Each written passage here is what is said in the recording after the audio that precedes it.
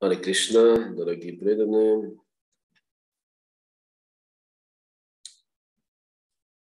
Итак, мы продолжаем служить Чайтанья Чаритамрите, бесценному подарку Шила Кришнадаса Кавираджа Госвами и Шила Прабхупады этому миру.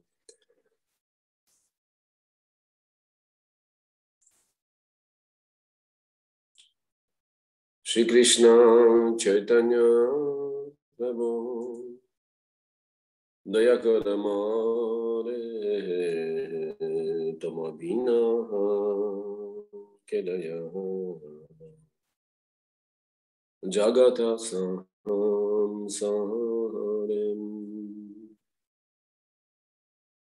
पतित पावन हेतु तव अवतारा mosamapatita prabho napaibeharam aha prabho nityanandaham. Premananda sukhim kripa balo kanako আমি বড় দুঃখিম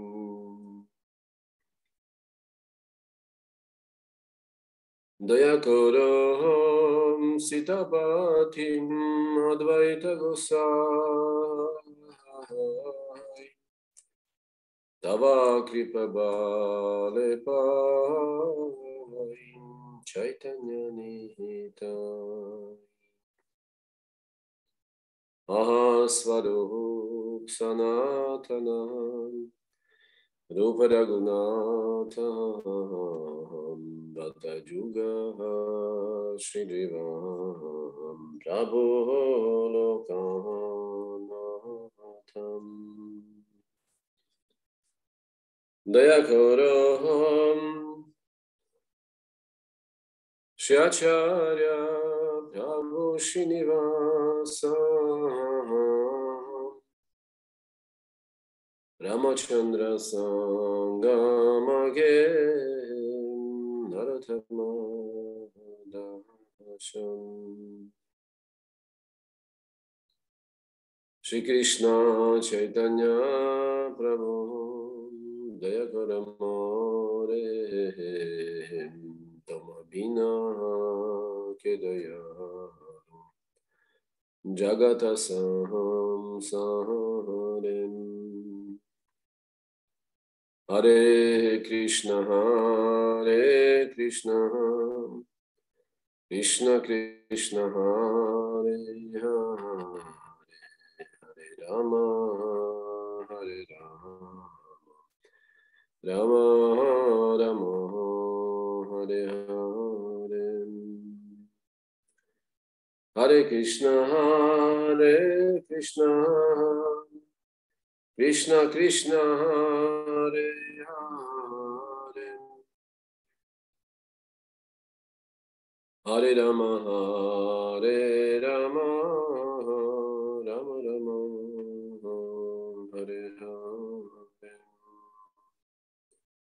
हरे कृष्ण हरे कृष्ण। कृष्ण कृष्ण, हरे हरे। हरे राम हरे राम राम राम, हरे हरे। हरे कृष्ण हरे Krishna. Krishna Krishna Hare Hare Hare Rama Hare Rama Rama Rama Hare Hare Jayam Gauranitai Gauranitai Gauranitai Jayam Gauranitai जय जय प्रभुपाद प्रभुपाद। प्रभुपाद जय शील प्रभुपाद। जय जय प्रभुपाद प्रभुपाद प्रभुपाद। जय शील Prabhupada.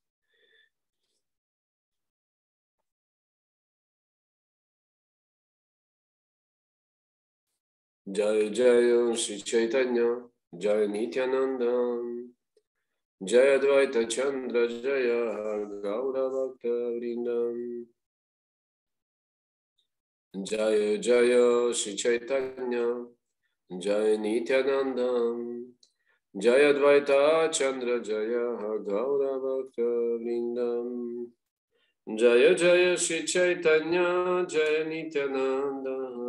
Jaya Dvaita Chandra, Jaya Gaura Bhakta Vrindam. Шри Чайтанья Чаритамрита ки джай, Шила Кришна Дас Кавираж Госвами ки джай, Шила Прабхупада ки джай, всем слушающим Шри Чайтанья Чаритамрита ки джай. Так, дорогие друзья, мы читаем Шри Чайтанья Чаритамриту Матядила, глава 19. Шри Чайтанья Махапрабху наставляет Шиларупу Госвами, текст 156. Яди Вайшнава Апарата Утехати Матам Упадева чинде тара шуктия япатам.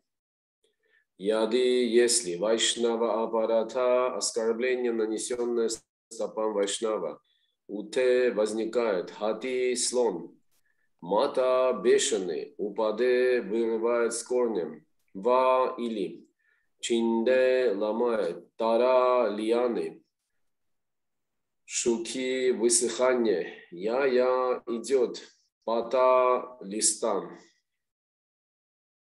Если преданный ухаживает в материальном мире за льяной преданного служения,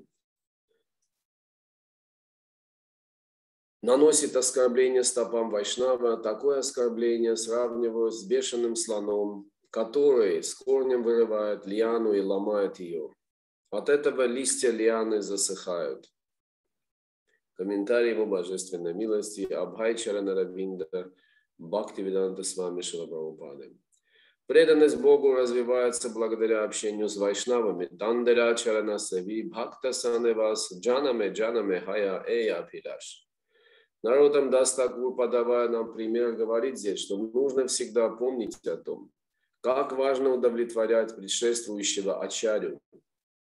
Для преданного его духовный учитель является представителем всех Госвами – быть ачарьей, духовным учителем, может только тот, кто строго следует ачарям в цепи преемственности учителей. Если человек серьезно относится к преданному служению, его единственным желанием должно быть желание доставить удовольствие предшествующим ачарям. Эй, чай гусани яр муи тарадас. Нужно всегда считать себя слугой слугачарев и с таким настроением жить в обществе преданных. Если же преданный сочтет себя достаточно зрелым, чтобы обходиться без общества вайшнавов и оскорбив какого-нибудь вайшнава, перестанет следовать всем регулирующим принципам, то его положение станет очень опасным. Об оскорблениях святого имени говорится в Аде Лиле, главе 8, стихе 24. Когда человек отказывается следовать принципам бхакти и живет, как ему заблагорассудится, это сравнивают с появлением бешеного слона, который с корнем вырывает бхакти лату и ломает ее. В результате бхакти лата засыхает. К таким оскорблениям в первую очередь относится неповиновение духовному учителю – это называется гуру аваги. Вот почему преданный должен быть очень осторожен, чтобы не оскорбить духовного учителя, ослушавшись его. Поступая вопреки наставлениям духовного учителя, ученик тем самым начинает выкорчевывать бхакти лату, и все листья на ней постепенно засыхают. Ома Чакшурмаритамина Тасмай Шри Гураве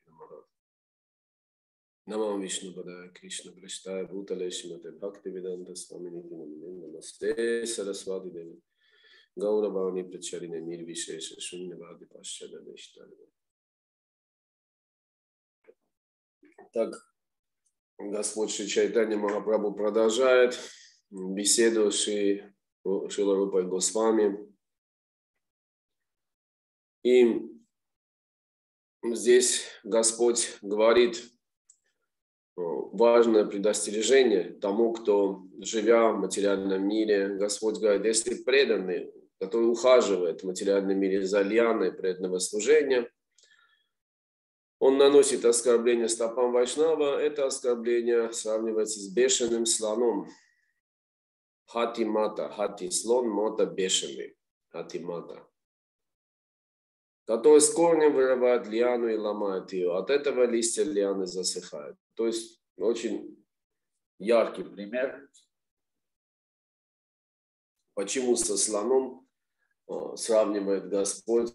Видимо, это очень наглядно, что маленький росток лиана и слон. Слон весит 7 тонн.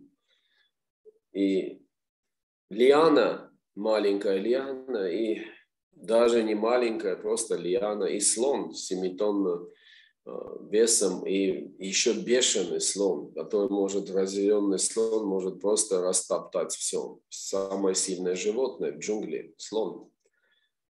Если слона опустить, тогда лиана Бхакти просто с корнем вырывается и ломает. Бешеный слон – корнем вырывает лиану и ломает ее. Это тоже очень важно, что корнем вырывает и ломает ее. Корнем вырывать это просто очень прискорбно. Это означает просто бхакти лата биджа уничтожается. Она может просто уйти. То есть человек может стать полным демоном. Потому что бхакти нету, значит человек просто попадает в бездну. Он может стать полностью материалистичным, демоничным, все грехи мира совершать от этого.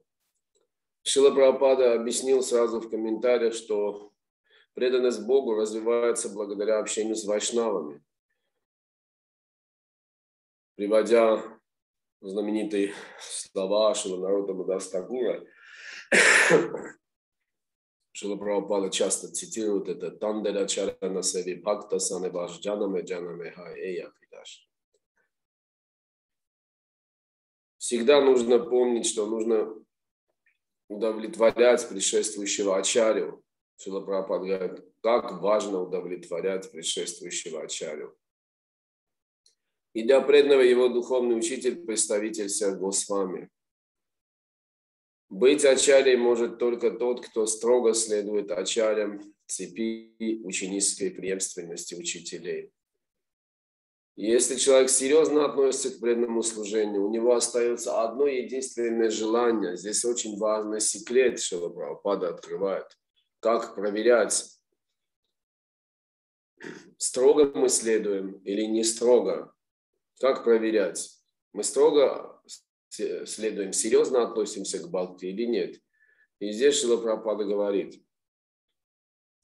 единственное желание такого человека, кто серьезно относится к Бхакти, это желание доставить удовольствие предшествующим ачарям. Но очень важно еще здесь, что э, ачарям написано, предшествующим ачарям, а не одному ачаре. Эй, чай госами яр муи тарадас. Нужно всегда считать себя слугой слуг ачарьев и с таким настроением жить в обществе преданных. То есть духовные учители. Шила Кришнадас Кавирадж Госвами первую главу Шичайтани Чаритамриты пишет духовные учители. Не один духовный учитель. В материальном мире все привыкают создавать секту. Кто-то любит идти за кем-то и забывать предшествующих предков. Я помню, недавно один из преданных мне говорит, да ты забудь старое и что было, забудь все, забудь Шилу Прабхупаду. Сейчас настоящим живи. Настоящим, кто тебя привлекает, иди за ним. То есть это просто удивительное высказывание. Что значит забудь прошлое? Мы живем э, только ради благодарности к прошлым ачарям, потому что без них мы не смогли бы узнать об акте, мы вообще не смогли бы познакомиться со знанием Кришны. Как забыть ачарев? Как забыть их представителя Шилу Прабхупаду? Как это возможно? Значит, я занимаюсь не бхакти, а чем-то, какими-то придуманными занятиями занимаюсь. Нужно всегда считать себя слугой слугачаря, и с таким настроением жить в обществе преданных. Это говорит Шила Прабхупада. И поэтому, если я выбираю своим духовным учителем Шилу Прабхупаду, я вот его вот этот совет хочу выполнить, что я должен считать себя слугой слугачаря и с таким настроением жить в обществе преданных. А не должен считать себя слугой того, кто не следует не следует ученической преемственности и забывают прошлых ачарев. И слушают каких-то людей, которые смешат народ. Просто весело. Вместо театра я пошел слушать лекцию, где популярный человек сидит и говорит, как общаются мужчина с женщиной, или какие-то забавные темы, или юморит как-то. Я сам хохочу и мне забавно, немножко повеселился. И это называется общением. Общением с кем? Мы никогда не увидим Ачарья и Шилу Прабхупаду, чтобы они э, забавляли народ. Они прославляют Кришну всем сердцем, языком, разумом, всеми, всем существом, прославляют Священное Писание, прославляют Кришну, прославляют Господа Чайтанию, прославляют окружение Господа. Сегодня день ухода близкого друга, спутника Господа Шичайтани Мапрабху, Шимурари Гупты. Священный день. Еще сегодня Лакшми Пуджа и Шри Кришна Растаятра чем занимался Шимурали Гупта. Он постоянно прославлял Господа. Он написал Шичайтанья Чариту, Писание, которое прославляет игры Господа Шичайтанья Мапрабху. Вайшнав – это тот, который день и ночь прославляет и слушает Господа и его преданных, Господа Шри Кришна, Господа Шри Чайтанья Махапрабху и его окружение, их игры, их наставления, их формы, их имена. Ничем другим Вайшнав, чистый Вайшнав не занимается. Он только слушает, воспевает и вспоминает с любовью день и ночь Господа и его окружение, его имя, игры, форму, качество. Больше ничем не занимается. Если мало для него воспоминаний, слушания и прославления имен Кришны, качеств Кришны, образов Кришны, игр Кришны, он просто несчастен, очень несчастный. Поэтому он не может, чтобы было мало. Для Вайшнава, который достиг чистого бхакти, всегда, всегда не достает прославления. Он просто не может даже одну секунду жить без слушания, воспевания воспоминания и поклонения своего любимого Господа, его окружения. Эй, чай Госамияр, муй Тарадас, нужно всегда считать себя слугой слугачаря, и с таким настроением жить в обществе преданных.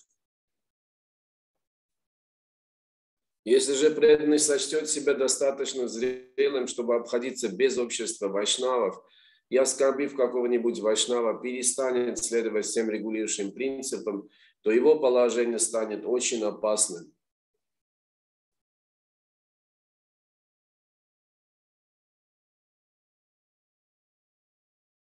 И вот это оскорбление какого-нибудь вайшнава, здесь Шила Прабхупада не пишет только про ачарьев, а любого вайшнава.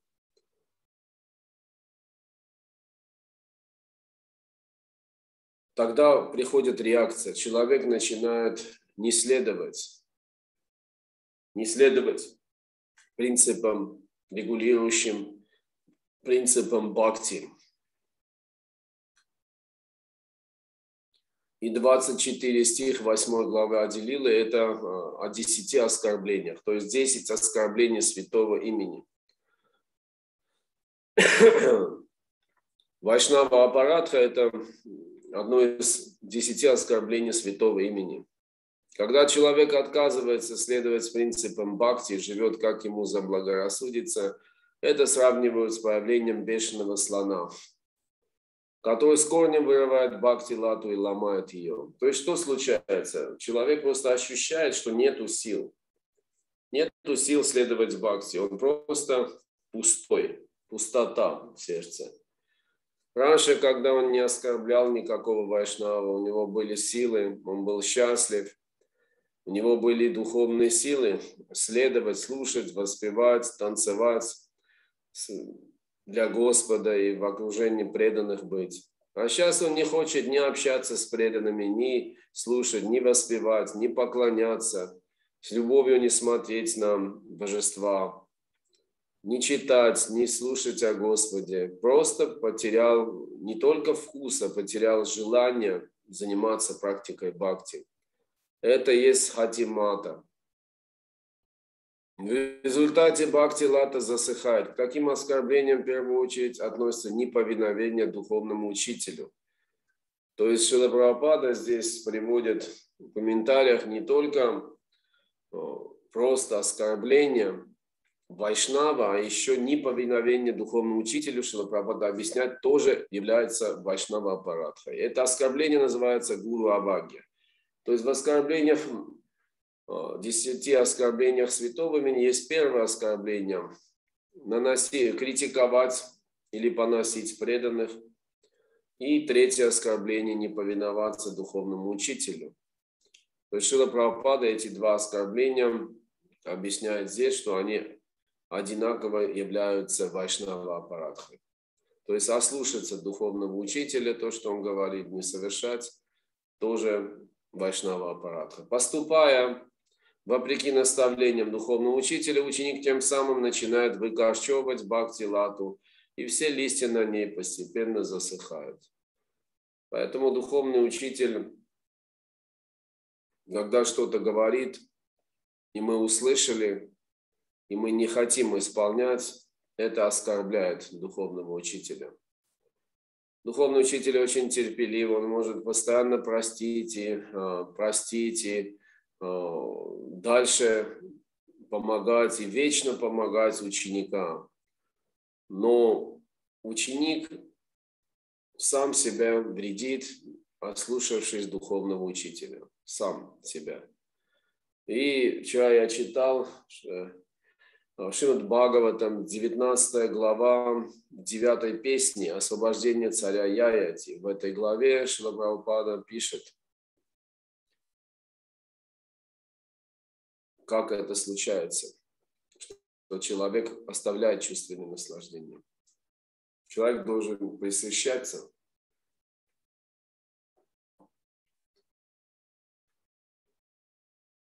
и волевым усилием от, отринуть. Есть а, вещи, которые ученик сам должен делать, а есть вещи, которые Кришна Баларама очищают его сердце. Но вот именно вот отринуть чувственные наслаждения, возможно, волевым усилием. Об этом пишет Шила Прабхупада. То есть ученик он может отринуть, если он очень захочет. Вайшнава аппаратха очень опасно, поэтому Господь Шри Махапрабху об этом говорит и дальше продолжает э, продолжает объяснять э, как, как защититься от этого бешеного слона. То есть сначала Господь Шри Чайтанья Махапрабху, 156 стих, он сказал, что случается, когда тот, кто поливает Бхакти Лата Биджу, он оскорбит Вайшнава. А потом Господь дает, дает совет, что делать. И есть комментарий Шила Прабхупады, что делать, чтобы защититься от этого слона. Тате малиятна кари каре аварана апарата хастирьяче нахая удгамам чтобы защитить лиану от могучего слона, олицетворяющего оскорбления, садовник должен со всех сторон обнести ее изгородью. Комментарий Шилапрабхупады. Когда Бхактилата начнет расти, преданному для ее защиты следует со всех сторон обнести ее изгородью. Что такое изгородь, сейчас мы услышим объяснение. Чтобы быть защищенным, преданный неофит должен находиться в окружении чистых преданных. Это не позволит бешеному слону вырвать с корнем его лиану бхакти. Это очень важное наставление. Первое, что говорит Шила Прабхупада, объясняя, что такое изгородь. Чтобы быть защищенным, преданный неофит должен находиться в окружении чистых преданных. Это не позволит бешеному слону вырвать с корнем его лиану бхакти. Почему? Потому что чистые преданные, когда я нахожусь в окружении с, э, с чистыми преданными, они мне не дадут никак, чтобы бешеный слон зашел мой ум, мой разум, мою жизнь. Они защитят. Только присутствие чистых преданных, когда я нахожусь рядом с ними, не дает меня оскорблять вайшнавов, потому что мой ум, оно уже очищается в их общении. Просто видя их, слушая их, рядом, будучи, служа с ними, когда я в окружении чистых преданных, я защищен, потому что, хотя я не афит, но их могущество, их чистота есть изгородь. Их могущество и чистота есть изгородь, такая изгородь, что бешеный слон не может подходить. Чтобы быть защищенным, преданный неофит должен находиться в окружении чистых преданных. Это не позволит бешеному слону вырвать с корнем его лиану бхакти. А если я нахожусь в окружении нечистых преданных, слабых преданных или материалистов. Это, это означает нету изгороди. Просто любой момент бешеный слон зайдет. Любой момент мой ум может оскорбить и мое тело, и мой язык. Все мои чувства могут оскорбить Вайшнава, потому что я не афит, я слабый. Нет у меня еще и изгороди. Я и слабый, еще нету забора. Как защититься? Никак. Общение, не, не общение же с непреданными, пишет Шилапрапада дальше, наоборот, предоставляет бешеному слону полную свободу. Вот то, что мы говорили. Общение с непреданными, наоборот, предоставляет бешеному слону полную свободу. Шичайтани Махапрабху поэтому сказал, Асад Сангатяга и Вайшнава Ачара. Вайшнав прежде всего должен прекратить общение с непреданными. Поэтому люди уходят, святые дамы, определенные общины, уходят в такие места, где они могут общаться только с серьезными преданными и не, не будут общаться с непреданными. Потому что непреданными общаться значит всегда быть в опасности. Хатимата всегда тут как тут. Непреданные они не только, они слабые не могут защитить, они еще могут подливать масло. Они иногда сами оскорбляют преданных, не веря в них, насмехаясь над ними. И э, неофиту преданному они э, как бы могут сказать, что да ты что ты веришь в это, в эти сказки сознания Кришны.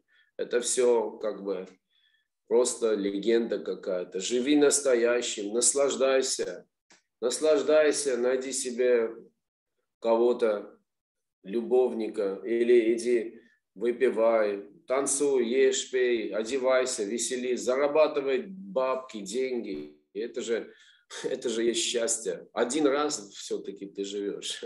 Гедонизм. Гедонизм называется ешь, пей, веселись, все равно ты один раз живешь и умрешь.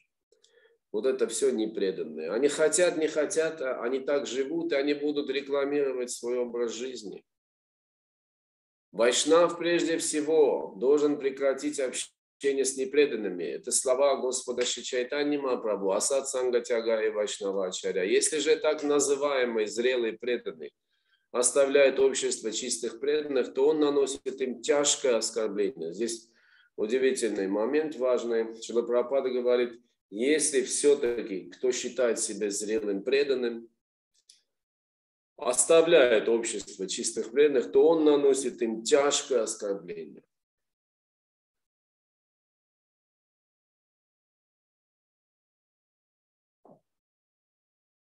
Человек – общественное животное, пишет Шила Прабхупада. И когда кто-то оставляет общество чистых преданных, ему приходится общаться с непреданными, а сатсанга. То есть желание общения всегда остается или потребность в общении, да, потому что что-то нужно нам. Когда мы а, здесь живем в материальном нам что-то нужно от этого мира. Деньги нужны, работа нужна, это нужно, то есть нужно. Просто желание с кем-то общаться нужно, особенно, чтобы нас похвалили. Вот. А чистые преданные иногда могут не похвалить так нас, могут строгими быть. Иногда человек слабинку дает и хочет общаться немножко с теми, которые скажут какие-то лестные слова. Они скажут день и ночь занимайся бхакти. Человек – общественное животное, и когда кто-то оставляет общество чистых преданных, ему приходится общаться с непреданными, а сатсанга, поддерживая тесные отношения с непреданными, участвуя в их деятельности, так называемый зрелый преданный Шилапрапада несколько раз уже подчеркивает третий раз, так называемый зрелый преданный становится жертвой бешеного слона оскорблений. То есть это означает, что тот, кто не защищает себя изгородью, общаясь с чистыми преданными, он так называемый зрелый преданный. Он на самом деле не зрелый преданный. Жертва бешеного слона оскорбления. Эти оскорбления быстро сводят на нет весь его духовный рост. То есть человек копил, копил духовное богатство. Я копил, копил духовное богатство, служа Господу его преданным. Потом бешеный слон зашел, потому что я не защитил изгородью и все, все уничтожил.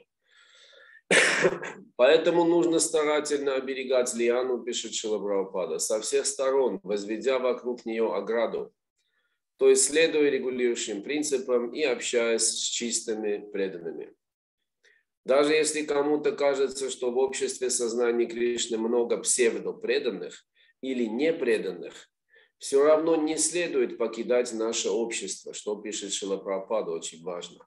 Даже если кому-то кажется, что в обществе сознания Кришны много псевдопреданных или непреданных, все равно не следует покидать наше общество. Если человек не считает членов общества чистыми преданными, он может общаться непосредственно с духовным учителем. И если у него возникают сомнения, ему нужно обратиться за разъяснением к духовному учителю. То есть иногда бывает так, что человек думает, ну вот здесь нету чистых преданных, но тогда духовным учителем нужно общаться, говорит Шила Прабхупада, не покидать наше общество. Духовный учитель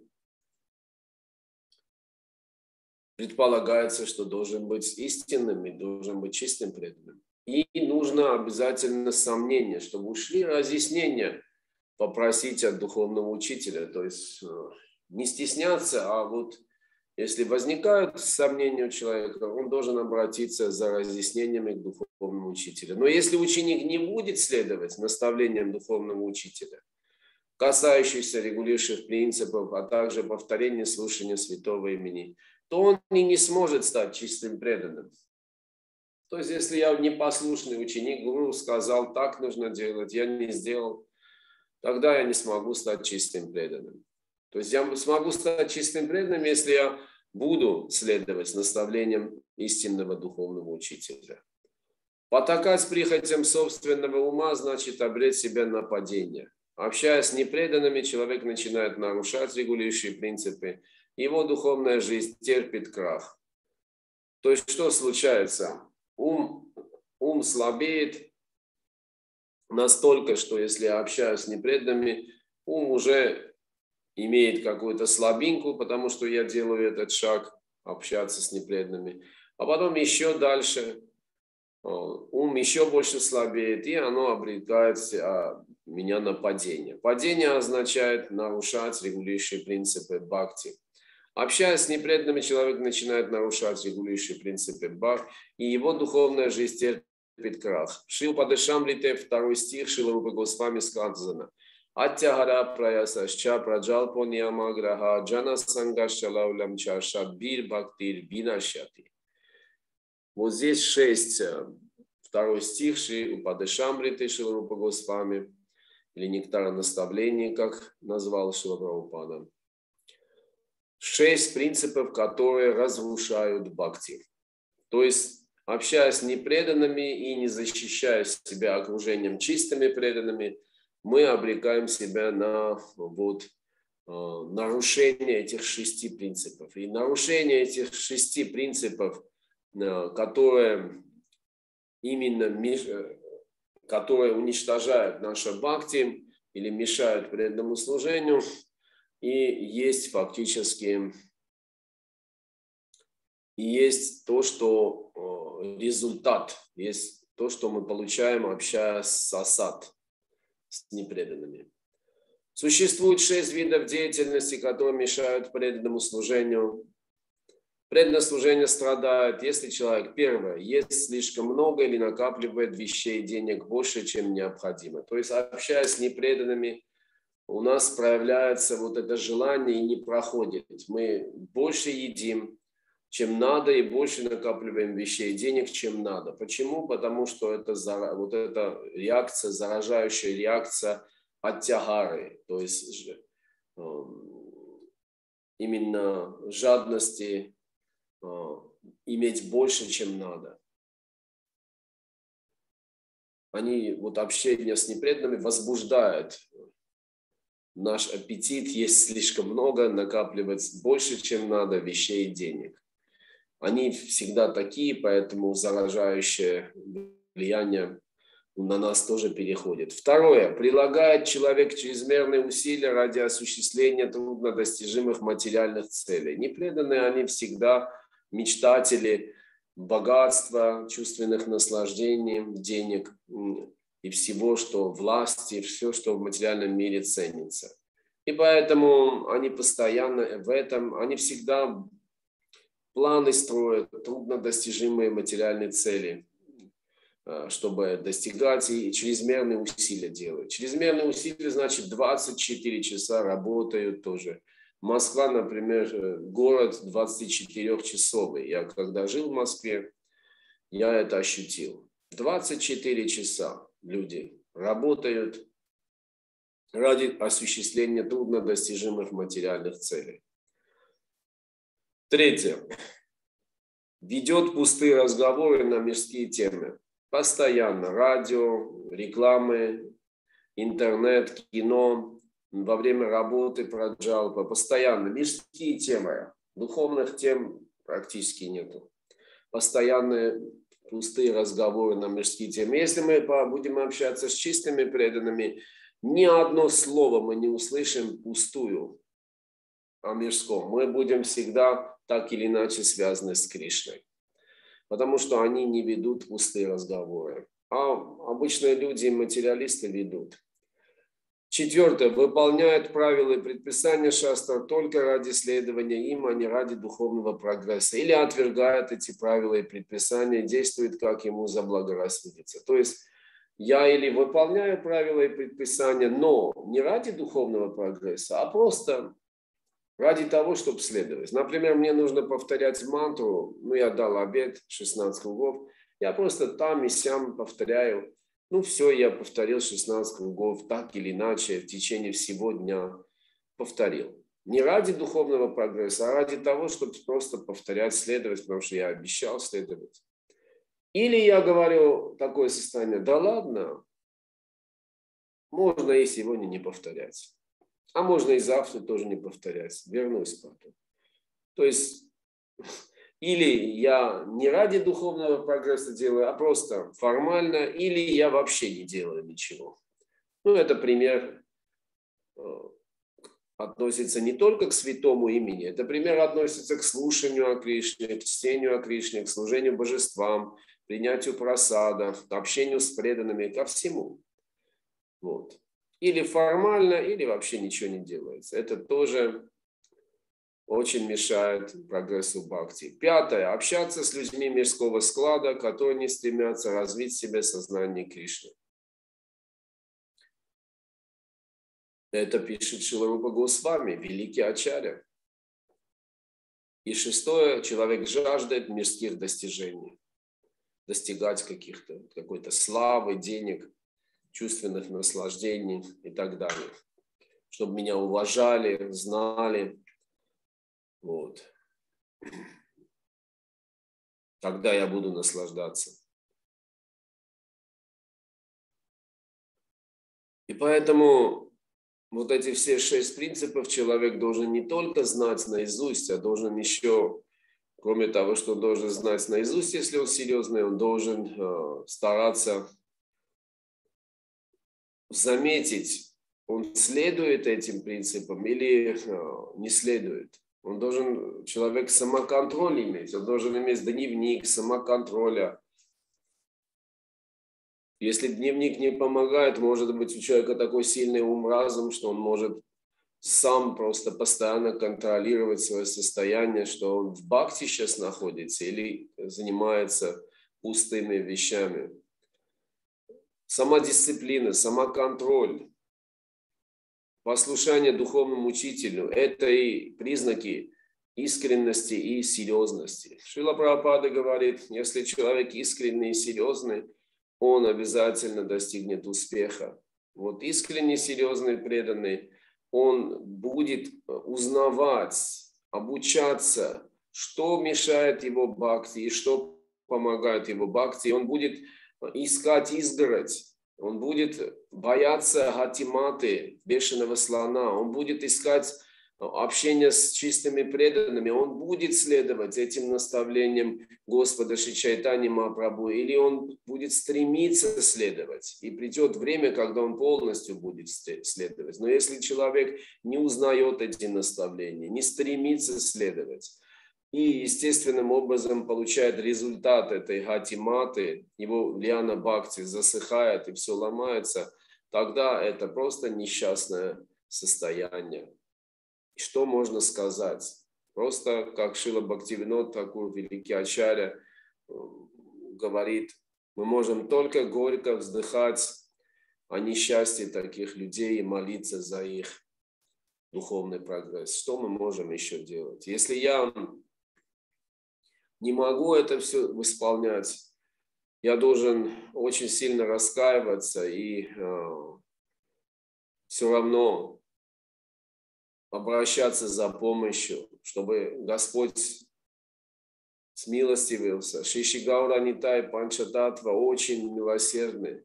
Если человек не имеет сил, уже впустил бешеного слона, он должен идти, находиться рядом с чистыми преданными и молиться и молиться им и всем божествам, самым милосердным Шиши Панча Татве о прощении, чтобы они простили оскорбления и дали сил все-таки следовать дальше и достичь силы, духовной силы, чтобы больше Хатимату не впускать в свою жизнь.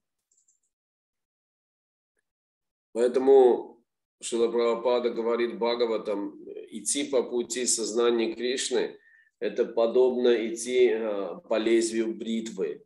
Идти по лезвию бритвы означает, это тонкая, тонкая, очень тонкая бритва. И мы идем по лезвию бритвы. И чуть что не так, говорит Шилапрабхупада, мы падаем, и э, бритва режет, и кровь идет. Очень больно. Поэтому настолько это тонкий путь, путь бхакти. Это не грубое отношение, это очень тонкий путь. Это высочайшая, тончайшая наука.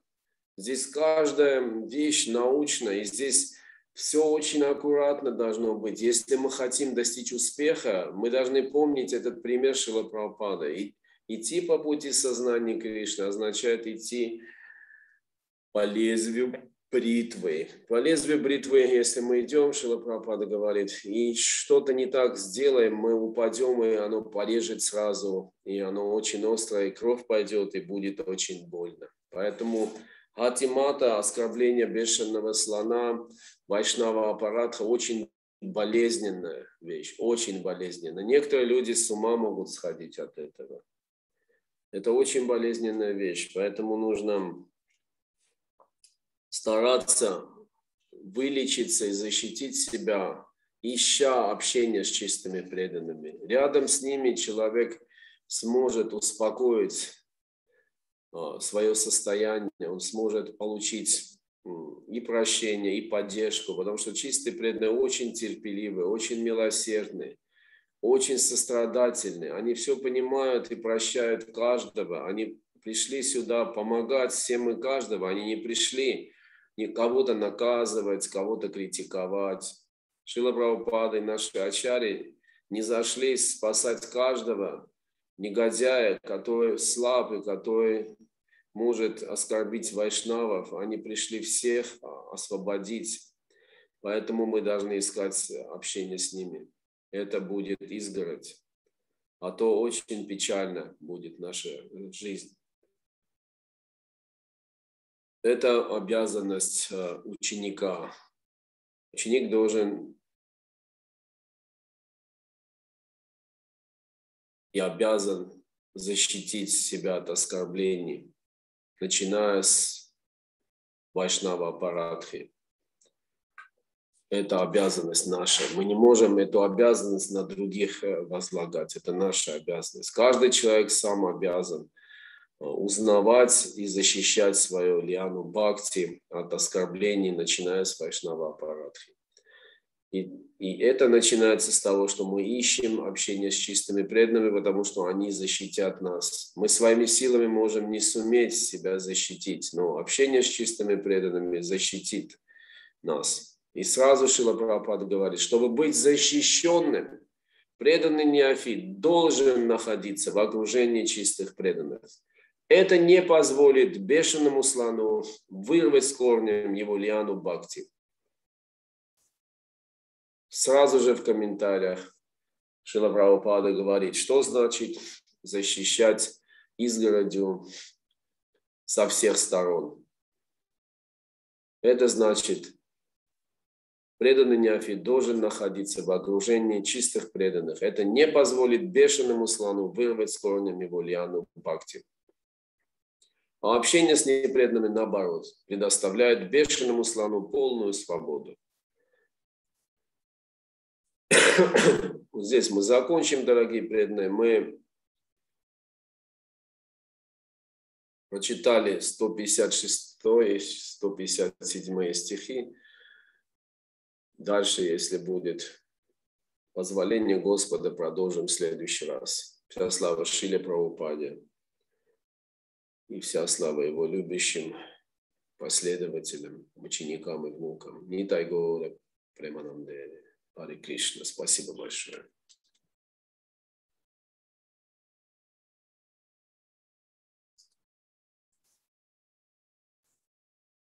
Немножко много получилось, но что делать?